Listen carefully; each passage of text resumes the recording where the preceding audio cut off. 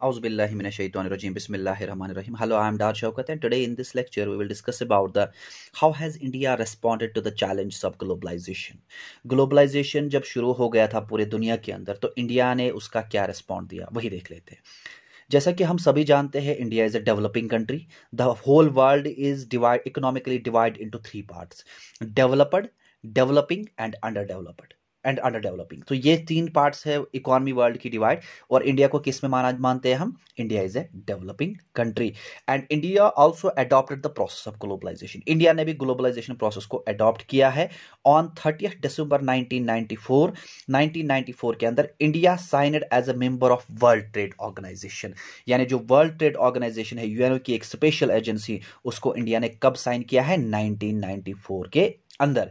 जब उसने उसको साइन किया तो इंडिया ने एक्सेप्ट कर दिया कि I accepted all the ideologies of the globalisation whatever will the terms and condition of the globalisation I will accept लेकिन उसके बाद यहाँ पे जो इंडिया ने रेस्पॉन्ड जो देना था ग्लोबलाइजेशन का, वो देख लेते क्या है?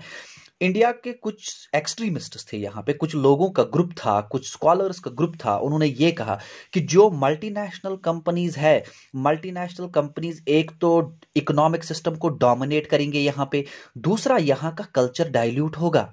ये पहला कॉन्सेप्ट दिया था यानी पहला आर्ग्यूमेंट इंडिया से आया कि ग्लोबलाइजेशन की वजह से हमारे कंट्री का कल्चर जो है वो डायलेक्ट हो सकता या डाइल्यूट हो सकता है। किन के इंटरफेरेंस की वजह से? एमएनसीज मल्टीनेशनल कॉरपोरेशन की वजह से। सो so, इंडिया ने क्या कहा पहले पहले दस India should remain quite away from India ने पहले पहले कहा नहीं मैं इसे दूर रहना चाहता हूँ मैं ग्लोबलाइजेशन को एक्सेप्ट नहीं करूँगा। क्योंकि वो डर रहा था कि उसका कल्चर क्या हो जाएगा? डायल्यूट हो जाएगा। दूसरा ग्रुप ऑफ़ स्कॉलर जो था जो उनको हम कहते हैं रिफॉर्मर्स यानी रिफॉर्मर्स ये चाहते थे कि इंडिया के अंदर जो गरीबी है इंडिया के अंदर जो इलिटरेसी है इंडिया के अंदर जो सोशल बैकवर्डनेस है इंडिया की इकोनॉमी जो बहुत ज़्यादा वीक है इन चीज़ों से छुटकारा पाने के लिए हमें किसी भी हालत में किस चीज़ को एक्सेप्ट करना होगा? ग्लोबलाइजेशन को। सो so, रिफॉर्मर्स का जो सोच था, उनकी जो सोच थी वो ये थी कि अगर गरीबी से बाहर निकलना है, अगर इलिटरेसी से सोशल बैकवर्डनेस से बाहर निकलना है तो या अपने कंट्री के नेशनल इनकम जीडीपी को बढ़ाना है तो एक ही चीज़ वो सॉल्व एक ही चीज़ से वो सॉल्व हो सकता है that is the globalisation third group जो है, वो क्या कह रहे थे कि अगर हम ग्लोबलाइजेशन को एक्सेप्ट करेंगे, उसके बाद जो हमारा डोमेस्टिक मार्केट होगा, यानी अपना मार्केट होगा, उस पर राज करने लगेंगे, उसको डोमिनेट करेंगे कौन? वेस्टर्न वाले, यानी डेवलप्ड वाले। और यहाँ पे एक नया इन्वायरमेंट क्या हो सकता है? क्रिएट हो सकता है। और अब इंडिया को तो यहाँ पे ये भी बात याद रखनी थी कि इंडिया की वन थर्ड पॉपुलेशन जो है वो बिलो पॉवर्टी लाइन के अंदर है सोशली एंड इकोनॉमिकली बहुत ज़्यादा वीक है सो इंडिया को कहीं हद तक क्या करना था? इस पॉलिसी को एक्सेप्ट करना ही करना था। कौन सी पॉलिसी थी? ग्लोबलाइजेशन सो इस पॉवर्टी को मिटाने के लिए और अपने लोगों कंट्री के लोगों को खुश रखने के लिए जीडीपी को बढ़ाने के लिए कंट्री के अंदर खुशहाली आ जाए इंडिया ने एक्सेप्ट किया किस कॉन्सेप्ट को? ग्लोबलाइजेशन को। अब इंडिया जब ग्लोबलाइजेशन को एक्सेप्ट करेगा, वो एक नई नई पॉलिसी बनाएगा, जिसको हम कहते हैं न्यू इकोनॉमिक पॉलिसी अब न्यू इकोनॉमिक पॉलिसी जो होती है, वो देख लेते हैं, वो क्या है? ट्रेड पॉलिसी रिफॉर्म यानी 1991 के अंदर इंडिया एक इंडिया का जो ट्रेड ट्रेड पॉलिसी होती है, उसमें रिफॉर्म हो, उसमें चेंज हो जाएगा। उसमें एक चेंज क्या हो जाएगा? वो ये all other business are licence free to establish mobility and competition Indian economy यानी इंडिया के अंदर जब भी कोई किसी को बिज़नेस करना होता था उसको गवर्नमेंट से लाइसेंस लेनी होती थी। बहुत टिपिकल प्रोसीजर होता था। कॉम्प्लिकेटेड प्रोसीजर होता था लाइसेंस लेने के लिए। सो so, सबसे पहले हम कहेंगे इस ट्रेड पॉलिसी रिफॉर्म के अंदर इंडिया ने वो जो लाइसेंस राज का सिस्टम जो है वो खत्म हो गया और यहाँ पे बड़े बड़े एम आ गए और उन्होंने यहाँ पे बिज़नेस करना स्टार्ट किया और जिसकी वजह से इंडियन इकोनॉमी फिर धीरे धीरे क्या होने लगी? बढ़ने लगी। क्यों कैसे बढ़ने लगी? क्योंकि जब वो एम एन यहाँ पे आ गए, उन्होंने अपने इंडस्ट्रीज़ यहाँ पे सेट किए। सो उन्होंने एज एल उनके कंपनीज़ के अंदर जो लेबर चाहिए थे, वो लेबर उन्होंने कहाँ से अडॉप्ट किए? इंडिया से किए। सो इंडिया को क्या मिल रहा है? एम्प्लॉयमेंट मिल रहा है। पहली बात। दूसरा पॉइंट जो है that is the foreign investment foreign investment efforts have been made for foreign investment in India permission is grant for non interference in the foreign investment अब देखिए फॉरेन इन्वेस्टमेंट क्या होता है? एग्ज़ाम्पल के तौर पर इंडिया को कोई ब्रिज बनाना है। इंडिया के पास उतने ज़्यादा पैसे नहीं है कि वो ब्रिज बनाएगा। या इंडिया चाहता है कि कोई और ठेकेदार, कोई और कंट्रैक्टर कोई और बिजनेसमैन ये ब्रिज बना बना बना के दे। सो so, ऑस्ट्रेलिया का कोई बंदा है बड़ा बिजनेसमैन उसने कहा मैं ये बना के दूँगा लेकिन वो फ्री में नहीं बना के देगा। उसके ऊपर टर्म्स एंड कंडीशंस होंगे।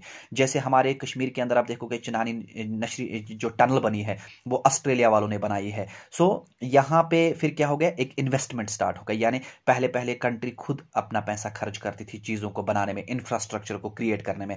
लेकिन लेटर ऑन जब एम आ गए उन्होंने अपना पैसा यहाँ पर डाल दिया और उन्होंने यहाँ पर बिज़नेस करना शुरू किया।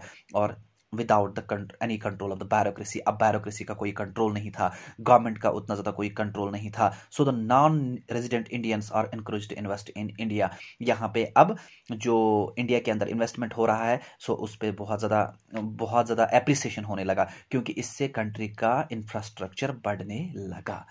थर्ड पॉइंट जो उसको हम कहते हैं फॉरन टेक्नोलॉजी एग्रीमेंट्स अब India has been force for industrial development and competition and for this it needs foreign technology agreements so India को फोर्स किया गया इंडिया को कहा गया कि अगर आपको अपनी इकॉनमी इंप्रूव करनी है आपको ग्लोबलाइजेशन को एक्सेप्ट करना ही करना होगा। सो so, जब इंडिया ने इकॉनमी ग्लोबलाइजेशन सिस्टम को एक्सेप्ट किया उसके बाद इंडिया के अंदर बहुत ज़्यादा फॉरेन इंडस्ट्रीज़ सेटअप होने लगे। अब यहाँ पे उन फॉरेन इंडस्ट्रीज़ के सेटअप में एक एग्रीमेंट होगा। किस किस के बीच में? उस फॉरनर के बीच में और इंडियन गवर्नमेंट के बीच में। India has got got many other foreign technicians on daily wages for their service so India को बहुत सारे टेक्नीशियंस मिले फॉर टेक्नीशियंस मिले यहाँ पे। सो so, एक एग्रीमेंट क्रिएट हुआ। किस किस के बीच में? इंडियन गवर्नमेंट के बीच में। या different nation I am not talking about the India as well different nations के बीच में जिन्होंने एक्सेप्ट किस चीज़ को किया? ग्लोबलाइजेशन को किया। उसके बाद यहाँ पे एक सेक्टर हुआ करता था फोर्थ पॉइंट जो है क्या और क्या इंडिया ने कैसे रिस्पॉन्ड दिया? पब्लिक सेक्टर को लेकर रिस्पॉन्ड दिया। पब्लिक सेक्टर वो होता है जो directly under the control of the government होता है। यहाँ पे बड़े बड़े कंपनीज़ जो थे इंडिया के अंदर जैसे बीएसएनएल कंपनी है। एग्ज़ाम्पल के तौर पे, वो पब्लिक सेक्टर है गवर्नमेंट उसको कंट्रोल कर लेती है। लेकिन उसके बाद जब गवर्नमेंट को लगा कि हमारे पास बहुत सारे कंपनीज़ ऐसे हैं जिनका लॉस है, जिनका प्रॉफिट ही नहीं है सो गवर्नमेंट ने उनके अंदर डिस इन्वेस्टमेंट कर दिया। गवर्नमेंट ने कहा कि अब मैं इन कंपनीज़ पर खर्चा नहीं करूँगा, क्योंकि वहाँ से तो कोई प्रॉफिट नहीं आ रहा है। अब वो कंपनीज़ किन्होंने लेना शुरू कर दिए? प्राइवेट प्लेयर्स ने लेना शुरू कर दिए। जब प्राइवेट प्लेयर्स ने उन कंपनीज़ को लेना शुरू कर दिया तो उन्होंने उसके अंदर अपना मैन्युफैक्चरिंग स्टार्ट किया। उन्होंने उनके तो वो कंपनीज़ अब आगे बढ़ने लगे। सो so, जब पब्लिक सेक्टर जो गवर्नमेंट की कंपनियाँ होती है जो बिक जाती है किसी प्राइवेट सेक्टर को that's known as the what I can say disinvestment या तो हम कहेंगे प्राइवेटाइजेशन होता है उसका। सो so, यही हुआ इंडिया के अंदर ये रिस्पॉन्ड दिया ड्यूरिंग द ग्लोबलाइजेशन ग्लोबलाइजेशन के बाद इंडिया को लगा कि हमारे पास कुछ कंपनीज़ ऐसे हैं which are very sick sick in performance बहुत ज़्यादा कमज़ोर है इन टर्म्स ऑफ़ प्रॉफिट तो वो किन्होंने ले लिए? वो प्राइवेट प्लेयर्स ने ले लिए। उसके बाद एक्सचेंज रेट की बात करते हैं। Indian rupee has been exchange to foreign currency from 1992 93 पहले नहीं होता था। उसके बाद एक्सचेंज रेट में फॉरेन करेंसी मतलब एक्सचेंज होती थी या हम कहेंगे फिनेंशियल रिफॉर्म्स प्राइवेट यहाँ पे बैंक्स आने लगे। प्राइवेट बैंक्स हैं जैसे H D F C bank I C I I C I C I bank ये बैंक्स आने लगे यहाँ पे। सो ये किसकी वजह से हुआ? ये सारा ग्लोबलाइजेशन की वजह से हुआ। अगर ग्लोबलाइजेशन ना हुआ होता तो एच डी एफ़ सी जैसा bank I C I C axes का बैंक यहाँ पे नहीं आते। सो क्या हुआ? फिनंशियल रिफॉर्म्स हुआ यहाँ पे। सो कंक्लूजन में हम यही कह सकते हैं। कि इंडिया ने अडॉप्ट किया ग्लोबलाइजेशन को। और जब इंडिया ने अडॉप्ट किया ग्लोबलाइजेशन को, कुछ ग्रुप ऑफ़ स्कॉलर्स थे, वो ये सोच रहे थे कल्चर का कि कल्चर डाइल्यूट हो जाएगा। कुछ ये सोच रहे थे कि हमारा मार्केट जो है, उसको डोमिनेट करेंगे वेस्टर्न वाले या डेवलप्ड कंट्रीज़ वाले। लेकिन फाइनली इंडिया ने अडॉप्ट कर दिया है किस चीज़ को? ग्लोबलाइजेशन को, क्योंकि इंडिया का क्राइसिस जब हो जाता है 1991 के अंदर, जिसको हम कहते हैं LPG liberalisation privatisation globalisation India के पास उस समय पर सिर्फ़ एक ऑप्शन था, किस चीज़ को एक्सेप्ट करना? ग्लोबलाइजेशन को एक्सेप्ट करना और इंडिया ने उस ग्लोबलाइजेशन को एक्सेप्ट करके अपना डेट जो उनके ऊपर जो कर्जा था, वो फाइनेंशियल स्टेबिलिटी जो उस समय पर वीक हो गई थी, उससे वो रिकवरी हासिल कर लेते हैं सो बहुत सारी चीज़ें ऐसे हैं जो ग्लोबलाइजेशन से हमें जानने को मिल जाती है सो ये था इंडिया का respond about the globalisation before concluding my topic I am requesting my all wishers do not forget to subscribe my channel the name of my channel is oceans origin of creative energies and neuroscience, started by Dar Shaukat. Thank you so much.